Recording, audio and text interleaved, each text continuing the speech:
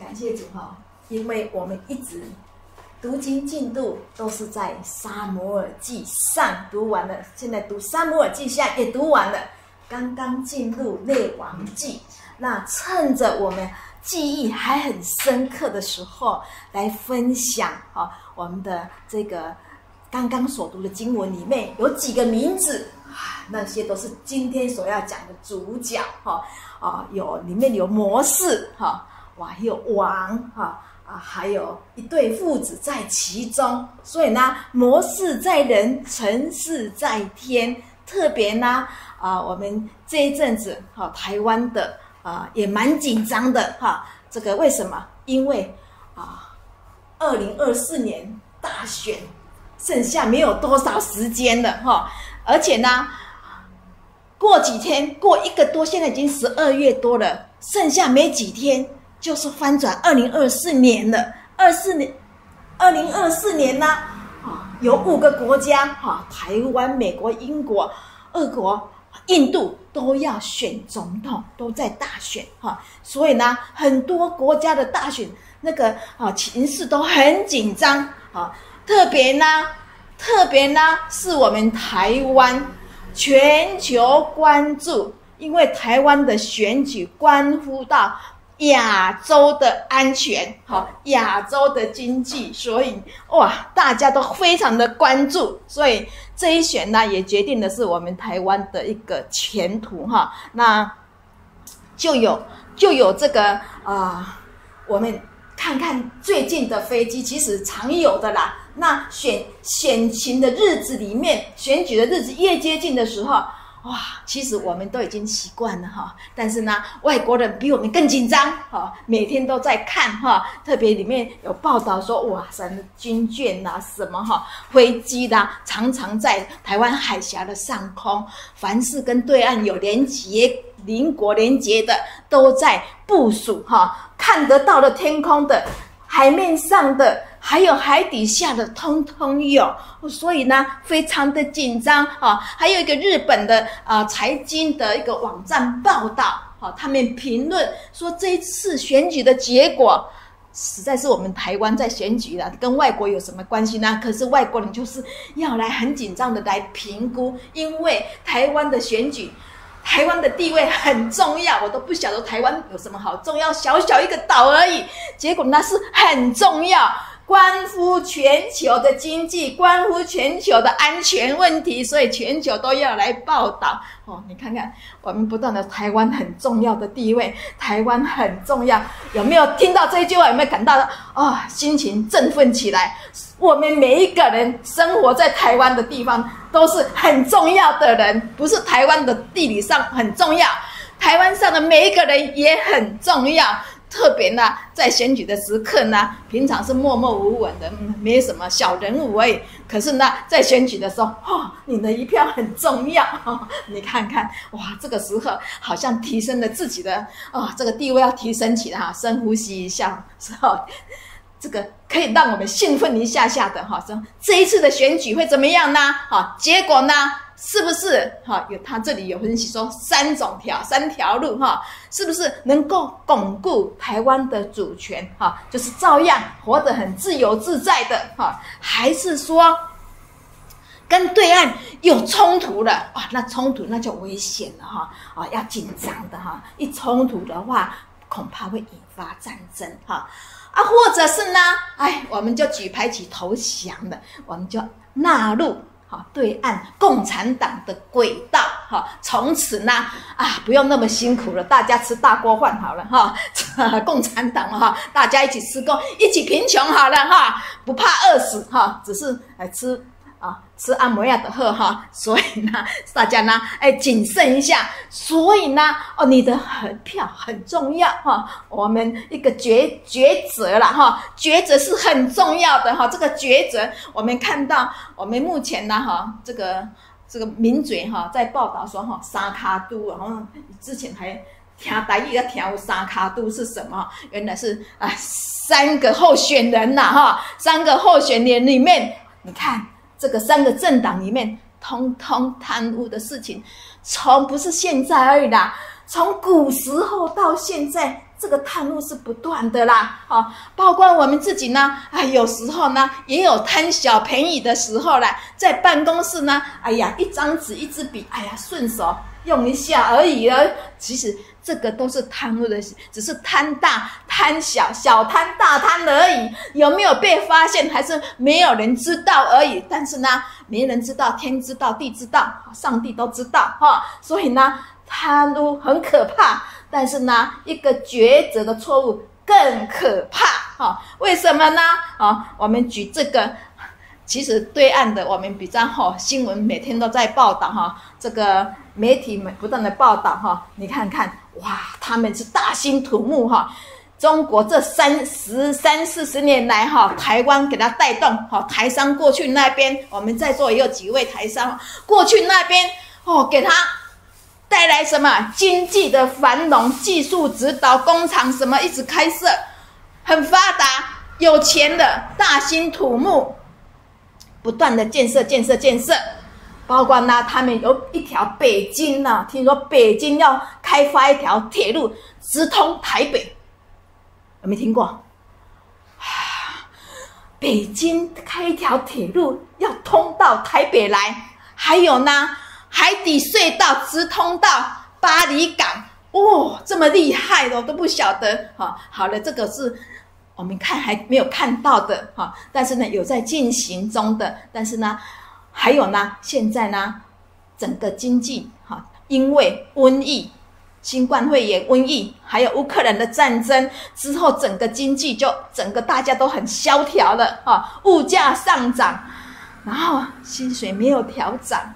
整个生活呢，压力重担的，好，包括中国大陆，因为钱都花下去的刚好做一半而已，所以呢，这个图片上面说烂尾楼房子盖了一半，它不是盖一栋、两栋、三栋，是整片的盖，哈，不但是盖自己国内的大楼，哈，哇，盖一半盖不下去了，还有呢，国外的，从亚洲，哈，亚洲。盖到欧洲去，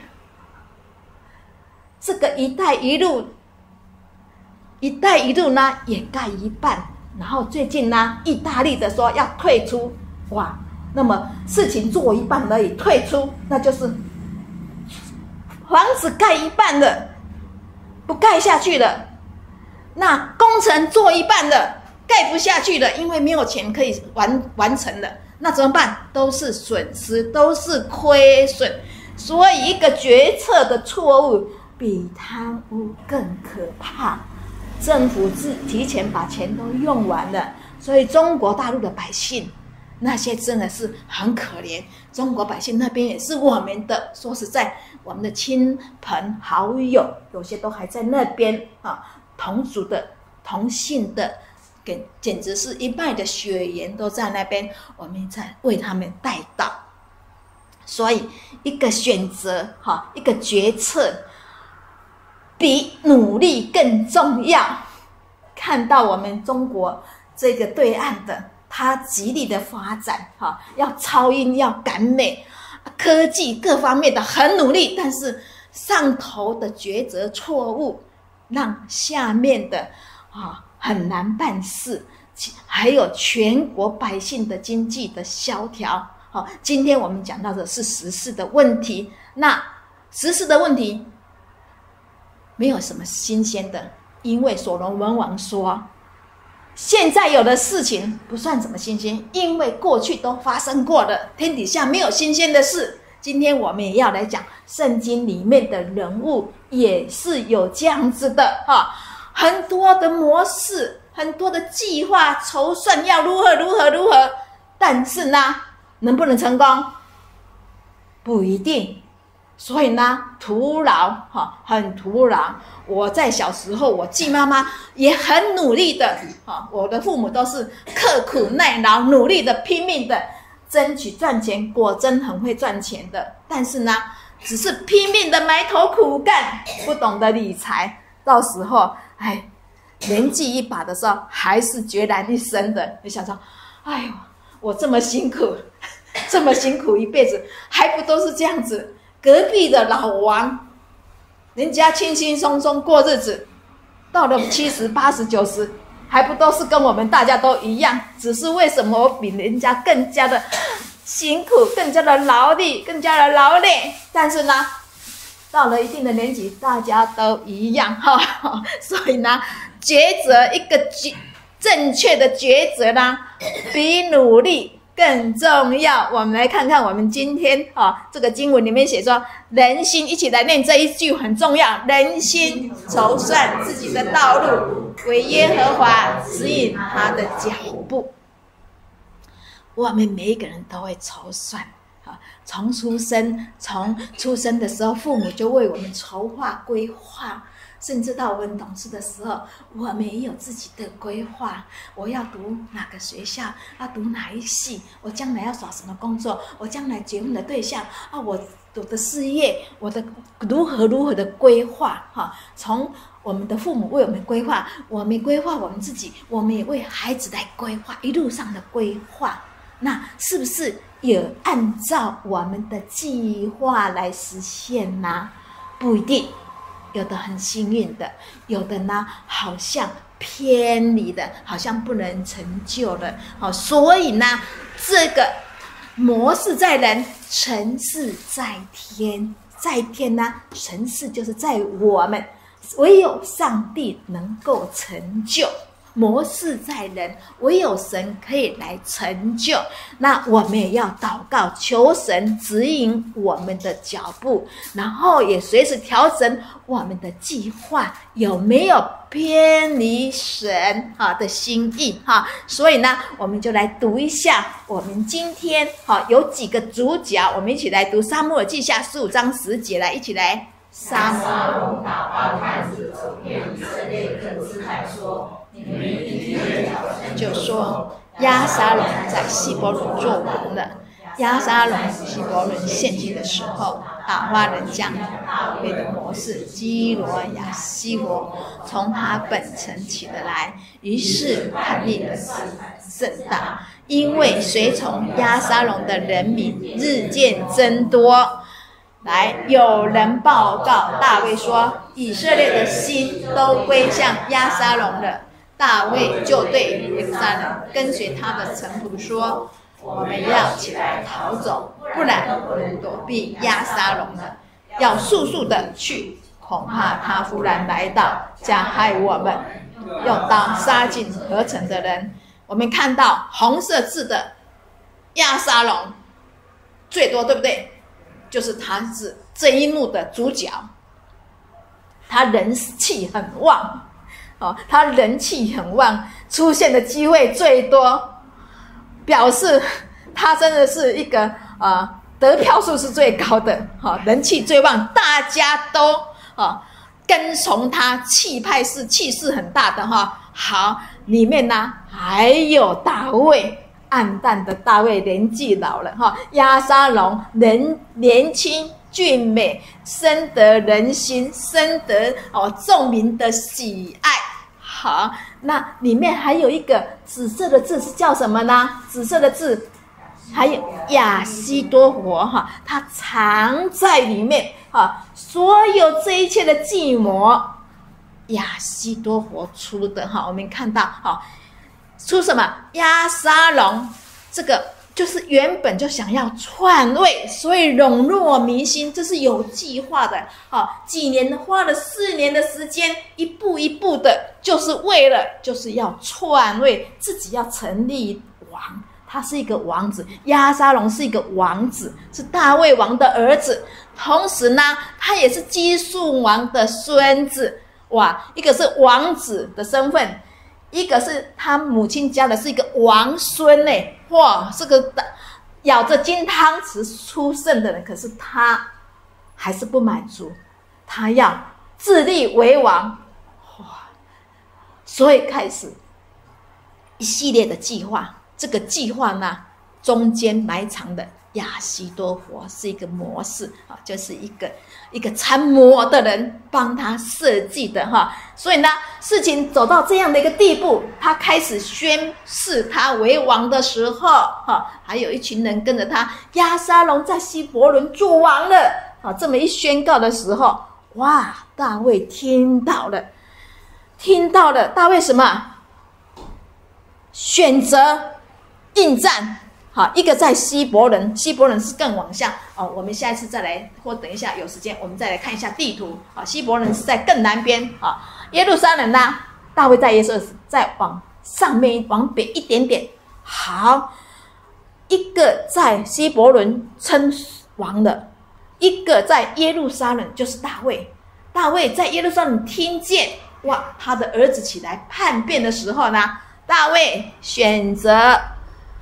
逃亡？为什么？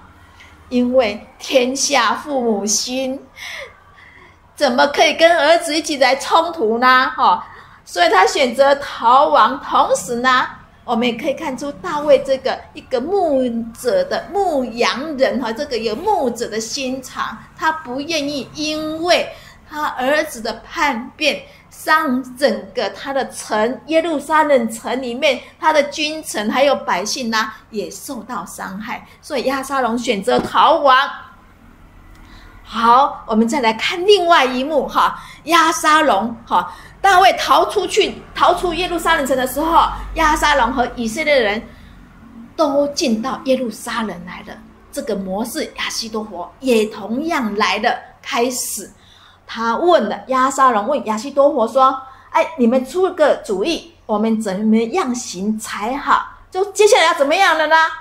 好，请亚西多佛出个策略，出个计划，接下来要怎么做？”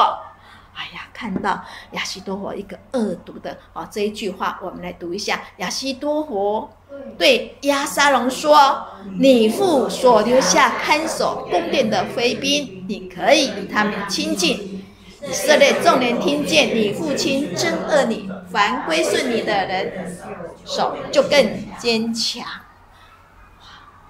这个亚西多佛呢，在当中兴风作浪啊，让父子的这个关系更加的不好哈，而且让他们引起更多的纷争，而且出这个计谋啦，真的是违反伦理。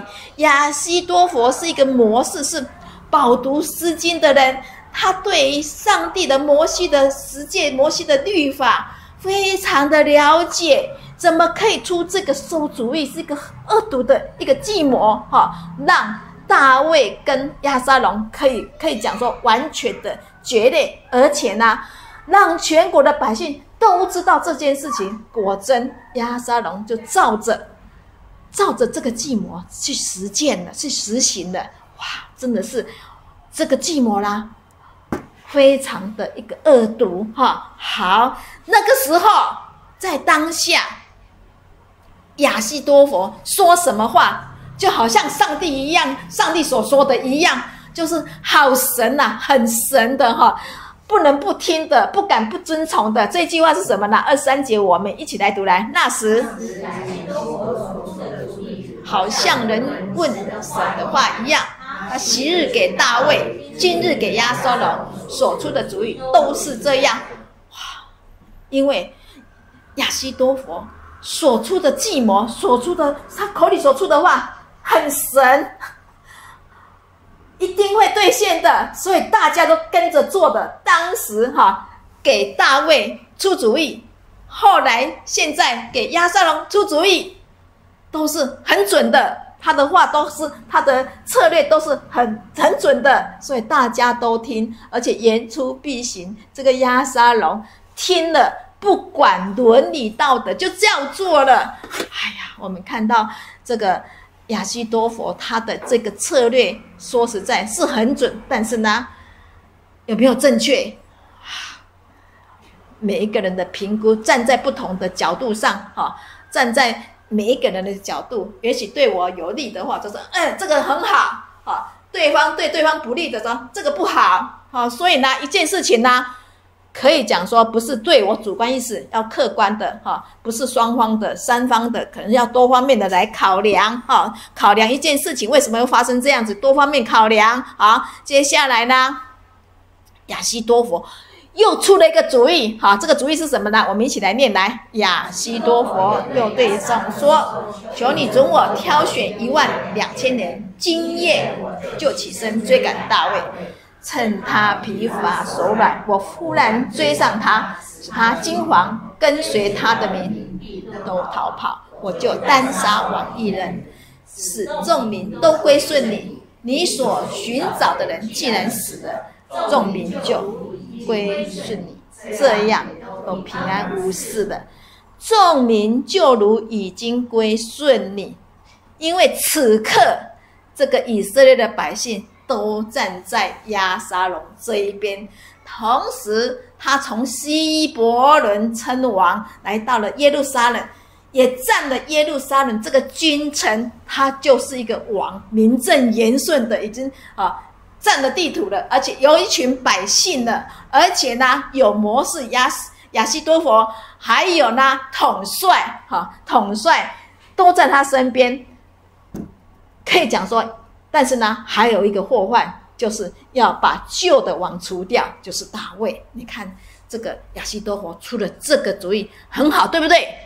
对亚沙龙来讲，对现任的王来讲很好，可是上帝有没有说好？上帝说好不好？哈，哎，忘了亚西多佛足智多谋，多么的有聪明，但是聪明反被聪明误了。他忘了上头还有一个上帝在看着，他以为他的魔力是这么的好哈，因为大家也觉得说。亚沙龙现任的王，还有以色列的众长的都很好，这个很好啊，很好啊，哇，这个很好，你看什么好？不用损兵折将，完美的计划，杀一个人就好了。好，日后大家因为日后大家都是兄弟嘛，他们都是亲族嘛，都是自己的支支派嘛。犹大族的跟以色列都是十二支派，都是同一个祖先亚伯拉罕的的后代的嘛。所以不要伤日后相还要相处，不要伤感情，只杀一个王就好了。哇，真是啊，太完美的一个计谋了哈，太完美的计谋。可是呢，这个王呢？王呢？还要这个？现在又出了一个哈，一个人物出来的哈。这个人物是富塞哈，是大卫派回去，派派他回到本来是要跟着大卫逃跑、逃出、逃城的哈。结果呢，大卫派他回去当卧底的，当卧底的。所以呢，这一段话我们一起来来读一下来。富塞对亚沙龙说：“亚西多我这次定我不善。”富塞又说：“你知道，你父亲和跟随他的人都是勇士。现在他们心里恼怒，如同田野丢骰子的母熊一般。战士必好。”依我之计来，不如将以色列众人从但直到别是巴，如同海边的沙那样多，聚集到你这里来。你也亲自率领他们出战。哇，这个富塞呢，真是说中了亚沙龙的心理。刚刚亚西多佛出的主意是亚沙龙亚亚西多佛，他说他一个人领兵一万两千去。杀大卫就好了，杀一个人就好了。这个哎，功劳都是亚西多佛的。可是现在富塞说，召集全国的哈，从南到北哈，从南到北的这个国土上所有的百姓聚集在一起，如同海边的沙那样多。我们然后你亲自率领兵去攻打。哇，这个亚沙龙想这个图画的时候，哇！好好神勇哈，好英勇哦！一领的百万大军哈去攻去去出战哈，是一个很威武的一个形状。所以呢，哎，中计了哈，中计了哈，哈，他没有这个大卫是常常在打仗的战士，可是这个大卫的儿子们好像已经都经历太平时代哈。你虽然说有外敌，但是都有约亚将军在打仗哈。他的儿子都躲在城堡里面过着安舒的日子，不懂得这个战场上的危机哈，还有策略哈，所以他忘了哈，忘了这一句话说：耶和华使人得胜，不在乎人多人少。好，这个是约拿丹，约拿丹就是扫罗王第一任王，扫罗王的儿子约拿丹，他是大卫的好朋友，他们都是同样啊讲的很经典话，就是很信靠神哈。这个得胜不在乎人多人少哈。得胜在乎耶和华哈，得胜在乎耶和华。OK，你看哈，这个我们还看到说，富塞是大卫的朋友，他是派来卧底的。他这个计谋就是要给大卫点时间，多点时间，能够重整军队哈。大卫离开了耶路撒冷，过到约旦河哈。他们的国土大部分都是在约旦河西跟地中海的，从南到北的一个地界。但是呢，不要忘记了，我没有读过约旦河东，好，还有两个半的支派，马拉西支派，还有以法莲支派，还有一个加德支派。在那边的也是他们的人。当时大卫哈为人甚是很好，他很恩待、很怜悯的哈，他能善体人心的。所以大卫冲到对岸的时候，逃到对岸的时候是非常的疲乏、仓皇逃出，也没有带多少人，也没有带很多吃的、喝的、用的，还有家眷什么的。但是呢，过到约旦河之后呢？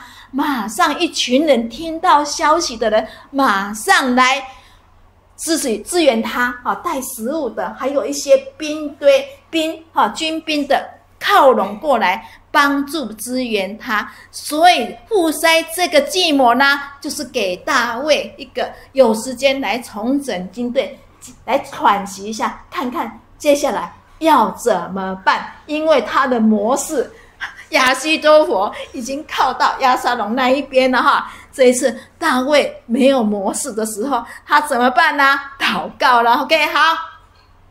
结果这个互塞的计谋怎么样？哈，亚沙龙和以色列人、以色列众人说：“哇，这个互塞的计谋比亚西多佛的计谋更好，更好。哇，你看，我们来看一下哈。”啊，我们知道亚西多佛哈是一个模式，就是一个参谋哈，好像诸葛亮那种身份哈，讲话是很神很准的啦哈，那个也这个是呃准判断是非常准确的。但是这个富山呢是做什么的？他是王的陪伴，陪伴是什么？就是一个反正可以聊天的，可以聊心的哈，这个呃心里的话可以一起说出来的，就是。这个这个心心意可以连接在一起的哈，所以上这个互相可以是很依赖、信靠的人哈，是信可以值得信赖的朋友的，所以大卫派派这个来派富塞哈到亚沙龙那边做一个卧底的，但是呢，他出了主意会比这个陪伴者这个一个平凡的人可以计谋会比。亚西多佛好吗？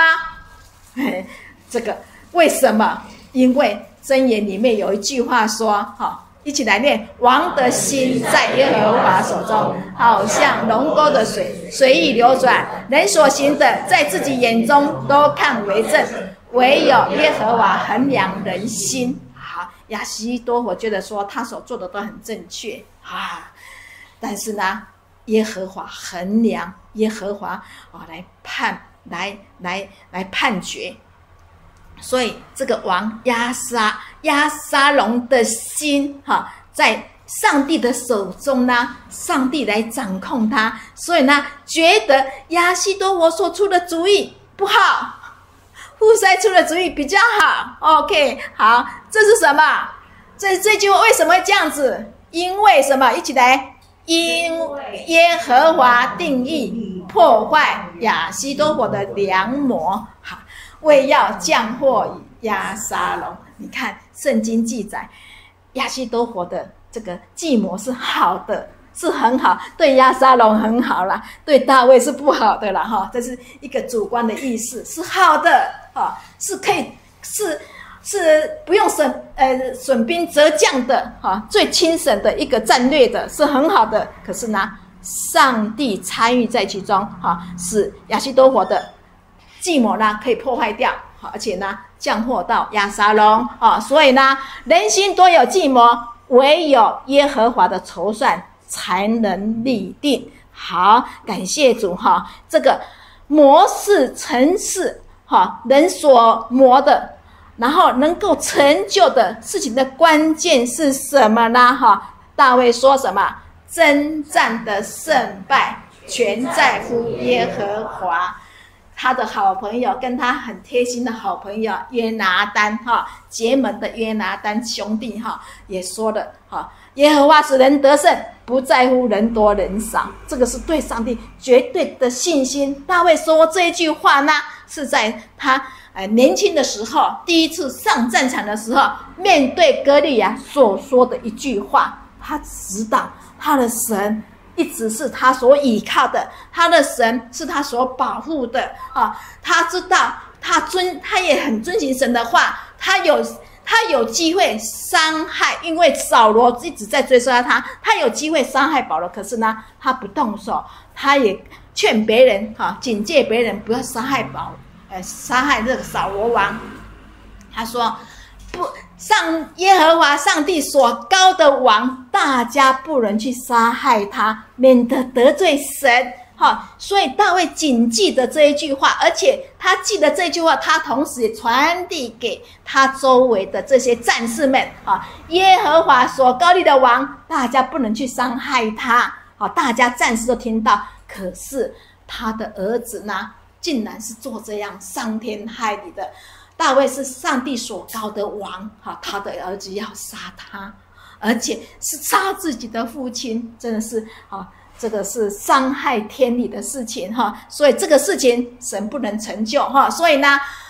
模式在人，成事在天。最重要的关键是什么？刚刚我们有读的经文，再说一再再读一次。有人告诉大卫说，亚西多佛也在叛党之中，随从亚撒龙。大卫祷告说：耶和华，求你使亚西多佛的计谋变为愚拙。祷告，信靠神。神同在，神必会保护，神必会出手来干预任何的事情啊，来保护他所爱的、所爱的子民，来保护敬畏他的人哈。所以，魔是在天，成是在神哈。这句话关键呢，要祷告，要寻求神，要祷告，要来信靠我们的神。好，接下来呢，啊，我们。今天只是讲到一个文字上的哈，下一周我们再来分享哈啊，为什么会有这些过程呢？哈，来龙哈，来龙去脉，还有结局如何？我们下礼拜我们再来一起来分享。现在我们一起来献上我们的感恩，天父，我们感谢这美丽主啊，谢谢你告诉我们，人心都有筹算，唯有你指引我们的道路，让孩子们紧紧跟随主的脚踪哦，跟随你。不管我们人生遇到任何的问题，我们要学习大卫有信心来向你啊，来祈求哦，让我们心中所有的一切的难题、所有的苦闷、所有的抱啊不满的哦，主啊，我们交托仰望你，求你为我们鉴察，你是鉴察人心的主啊，也让我们完全的交托，将一切的忧虑卸给你。将一切的仇恨也交托仰望神，深知道神你必有裁判的主啊，谢谢你不不让这些过去所有的怨恨不满或者是一个委屈压在我们的心头，使我们哦人生里面垂的苦闷。谢谢主，让我们学习完全交托，完全的信赖，仰望你。保守我们时时刻刻深知到神你眷顾我们，那我们每一天也要活出神的美美好。我们将感恩祷告，奉耶稣基督的圣名，阿门。